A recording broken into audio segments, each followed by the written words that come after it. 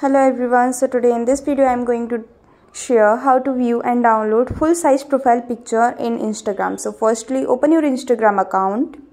Now go to search. Now search the account. Now tap on the three lining which is on the top right.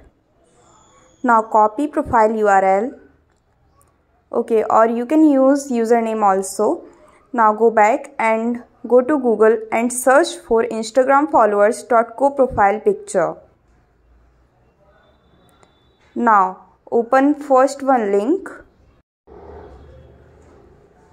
Okay now so in the Instagram username box just paste that link or use that username.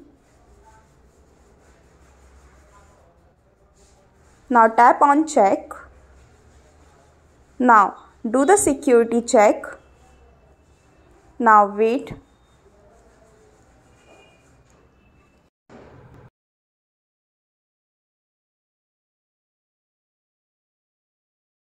Okay so here you can see that uh, full size profile picture. So to download it just tap on download or you can hold the picture